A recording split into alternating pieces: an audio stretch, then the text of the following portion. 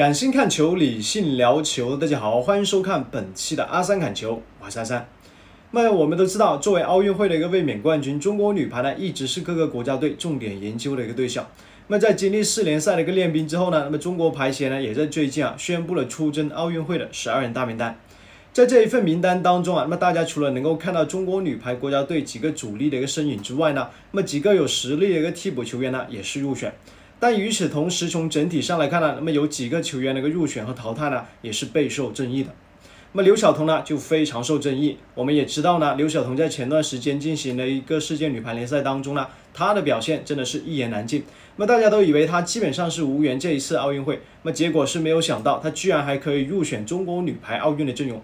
所以其实很多球迷也都不理解，那么不知道主教练郎平呢，到底是怎么想？如果说不带上刘晓彤，那么将这个名额给到副攻或者自由人的话，那对于中国女排来说，其实会更加的有利。而除了刘晓彤之外，那么林莉和王梦洁之间的一个竞争呢，同样也是备受争议。林丽啊，在失去主力位置之后呢，其实这几年来大赛的一个机会是越来越少。但是在此前的一个四联赛当中呢，他三次替补出场扭转一个局势呢，也是一度令很多球迷对他呢能够搭上末班车呢抱有一个幻想和期待。但很可惜呢，最终还是没有出现一个奇迹。那总的来说呢，王梦洁入选这个奥运阵容呢，也是可以预知的。那甚至没有太多的一个悬念。这不仅仅是说啊，林丽最近几年呢是沦为替补，而且呢，包括在四联赛上呢，也可以看到，那么包括郎平的安志杰呢，大部分时间都让这个王梦洁在场上去锻炼。那么其实也能够看得出来呢，林丽真的是失宠了。王梦洁啊，其实并不比这个林丽强，这其实呢也是林丽落选呢备受争议的一个地方。那按理说，二十九岁的林丽呢，其实还有机会去参加下一届的一个奥运会。毕竟呢，三十四岁的闫妮呢，这一次也入选了奥运会的名单。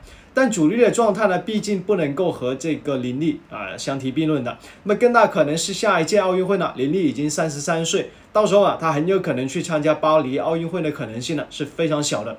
所以其实也就意味着，那么错过这一次的东京奥运会呢，林丽接下来可能就要退役了。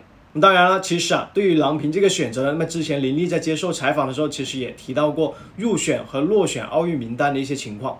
他说啊，集体的利益高于个人的利益，那么不能想太多个人的一个东西，要多为集体去着想。那么很明显，林丽的一个心态，其实呢，一直都是集体观念非常强的一个球员。所以其实如此看来，那么他对于落选的一个结果呢，虽然说肯定也会很失落，但相信呢，他也是支持教练组这个决定的。那么对于这样的一个选择呢，其实只要郎平之啊，到时候别后悔就行。那么球迷呢，肯定也是支持啊教练组这个选择的。所以啊，其实回顾中国女排，那么这十几年来的一个征程呢，真的也是挺不容易的。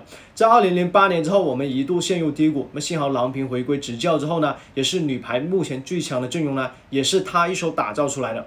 那么我们也知道，那么东京奥运会之后呢，郎平会选择退役。所以其实作为她最后一届奥运会呢，我们也希望呢，她能够带着中国女排，那么实现一个奥运卫冕的一个好成绩。好了，本期的阿三砍球就聊到这里。喜欢阿三的可以点击关注、评论。我们下期继续开心聊球，拜拜。